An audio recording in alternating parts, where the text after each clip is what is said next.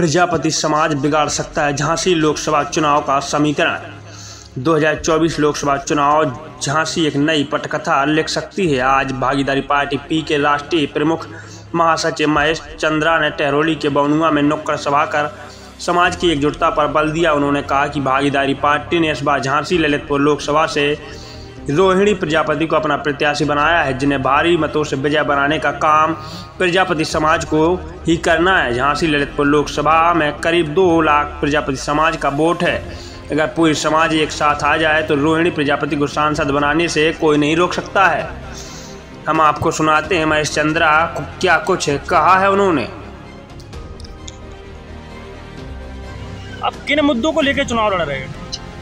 देखिए भागीदारी पार्टी उत्तर प्रदेश के 22 लोकसभा सीटों पर अभी तक हमने अपने प्रत्याशी फाइनल कर चुके हैं। उसी के कड़ी में आपके झांसी छियालीस से रोहिणी प्रजापति को भागीदारी पार्टी ने अपना उम्मीदवार बनाया। हम चाहते हैं यदि हमारी सरकार बनी इस देश में तो गरीबों को ही नहीं अमीरों को भी किसी जाति धर्म का व्यक्ति हो, उसके बेटा बेटी को फ्री शिक्षा देने का काम भागीदारी पार्टी की सरकार है। हम चाहते हैं कि प्राथमिक स्तर से तकनीकी शिक्षा देने का काम हमारी सरकार करेगी और इस देश में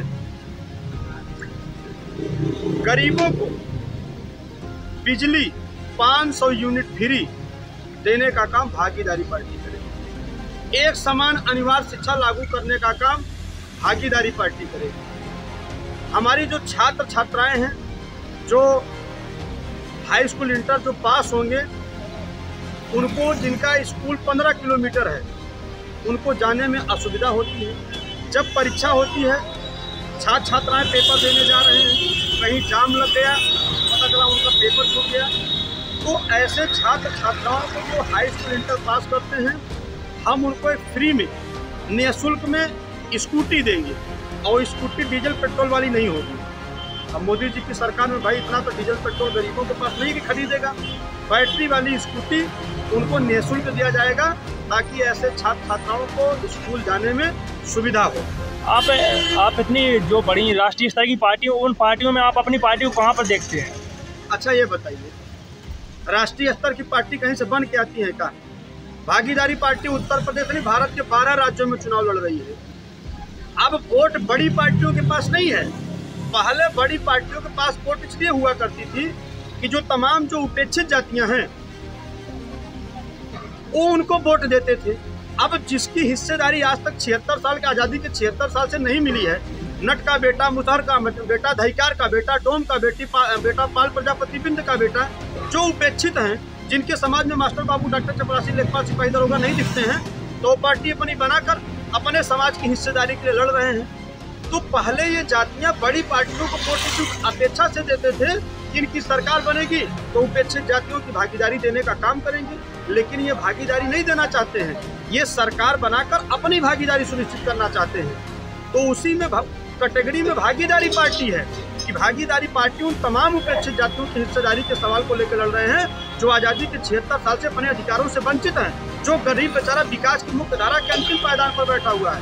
हम उसकी भागीदारी देना चाहते हैं। हम नट के बेटा मुसहर का बेटा कुजड़ा का बेटा डोम का बेटा हम उसकी भागीदारी दिलाना चाहते हैं जिसके समाज में आज तक चपरासी नहीं बने हैं। अच्छा जब आप बिहार जाति होती है। अच्छा जब आप सभा अभी नुक्कड़ सभा को जो संबोधित कर रहे थे तब तो आपने एक वक्तव्य दिया था कि नोट के साथ वोट भी हमें चाहिए।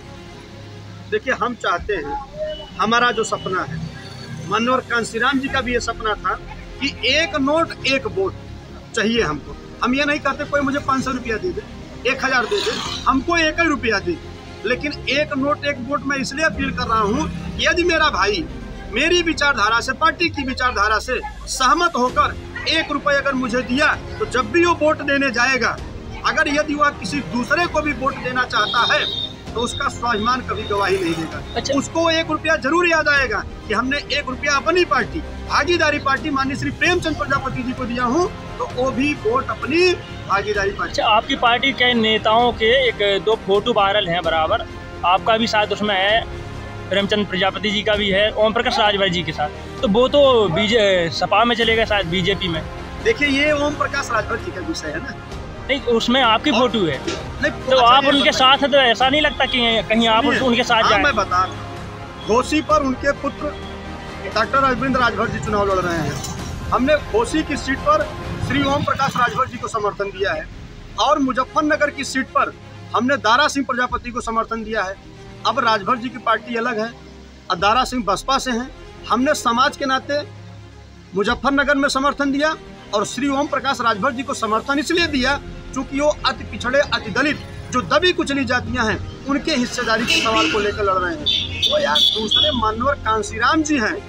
मानवर कांसीराम जी विकास की मुख्य धारा के अंतिम पायदान पर बैठे हुए अच्छा पहले तो वो।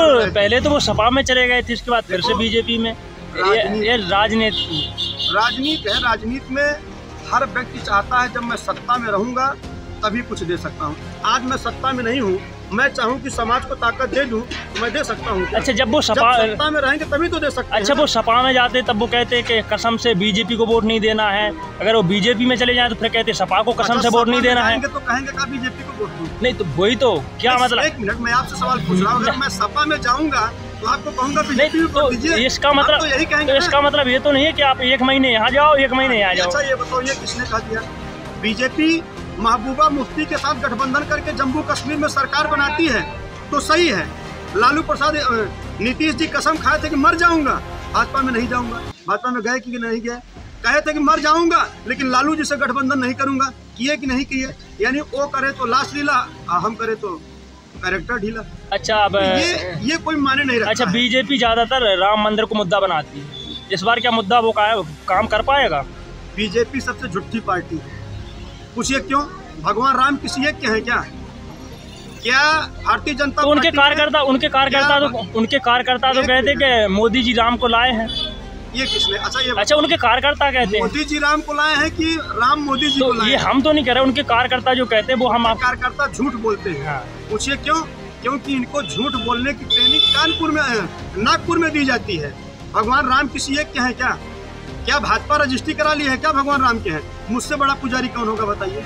मर्यादा पुरुषोत्तम श्री राम जी जी के विचारों पर चलने वाला मैं व्यक्ति हूँ। मैं उनकी पूजा करता हूँ। मैं तो भाजपा में नहीं हूँ। अगर भाजपा का ये एजेंडा था कि भाई हम भगवान राम का मंदिर बनाएँगे, ठीक है, आपने राम मंदिर बनाया। आपका स्वागत है। भगवान तो सबके होते हैं ना।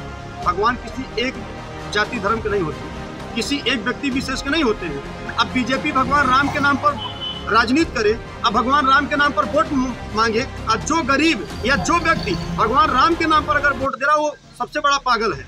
अच्छा एक वोट हमेशा विकास के नाम पर देना चाहिए। अच्छा जो पार्टियाँ विकास करें भाजपा सरकार में सबसे ज़्यादा जाति जुल्म अत्याचार उत्पीड़न लूट हत्या बलात्कार बना हुआ है। एक मिनट योगी जी कह रहे थे कि उत्तर प्रदेश में हमने सबसे ज़्यादा रोज़गार देने का काम किया। बासठ हज़ार पुलिस डिपार्टमेंट की वैकेंसी निकली। आपने देखा पचास हज़ार से अधिक बेरोजगारों ने आवेदन किया वो भी 25 साल के कम वाले। अब 25 के ऊपर कितने हैं उसकी कोई आंकड़ा नहीं।